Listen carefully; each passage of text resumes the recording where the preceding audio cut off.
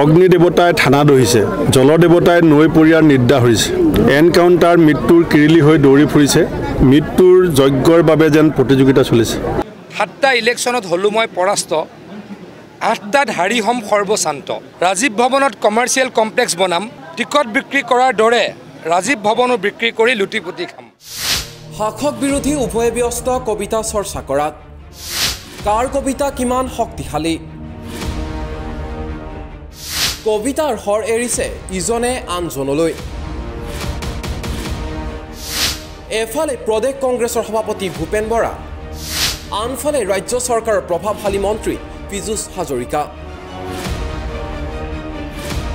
হয় কবিতাক লৈ তোলপাৰ ৰাজ্যৰ ৰাজনীতি।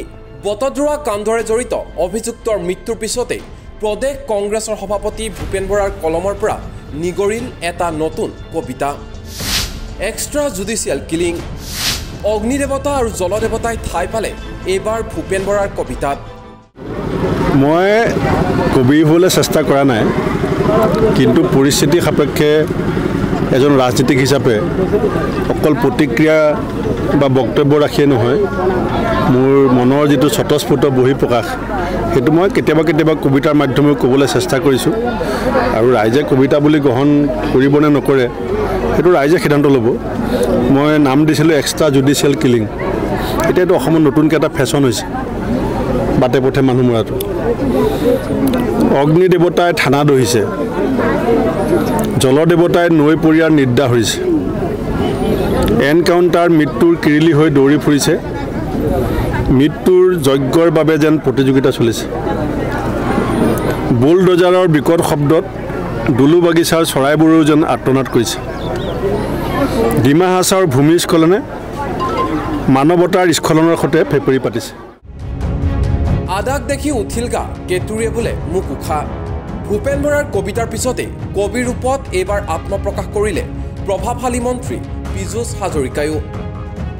সভাত বহি বহিয়ে কবিতা লিখিলে মন্ত্ৰীগৰাকীয়ে আৰু নাম প্ৰকাশ নকৰাকৈ কবিতাৰে কটাক্ষ কৰিলে প্ৰদেশ কংগ্ৰেছৰ সভাপতি ভূপেন বৰাক এই সভাখনত উপস্থিত থাকোঁতেই এটা কবিতা লিখিলোঁ। মই আচলতে কবিতা নেলেখোঁ কিন্তু সকলোৱে আজিকালি কবিতা লেখে। যিবিলাক কবি নহয় তেওঁলোকেও কবিতা লেখা আৰম্ভ কৰিলে। গতিকে আমিও কবিতা নেলেখা মানুহ।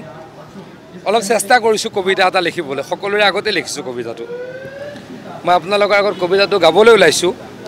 সাতটা ইলেকশ্যনত হ'লোঁ মই পৰাস্ত।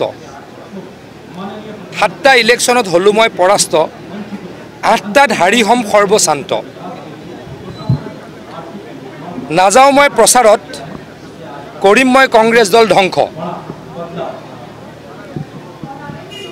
ৰাজীৱ ভৱনত কমাৰ্চিয়েল কমপ্লেক্স বনাম।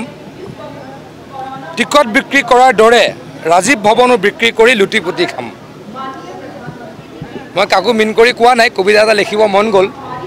মই যিহেতু ৰাজনৈতিক ব্যক্তি মই ৰাজনৈতিক কবিতাই লিখিম। গতিকে আজি আপোনালোকৰ সন্মুখতে আপোনালোকৰ সন্মুখতে মই বহি আছিলোঁ। কবিতা এটা লিখিব মন গ'ল। এই কবিতাটো ৰাইজৰ জ্ঞাতাৰ্থে আপোনালোকৰ আগত মই আবৃত্তি কৰিলোঁ। যাওঁ হওক দুয়োগৰাকী ৰাজনৈতিক নেতাৰ এই কবিতা চৰ্চাক ৰাইজে কিদৰে আঁকোৱালি লয় সেয়া হ'ব লক্ষণীয়। tax report, time it.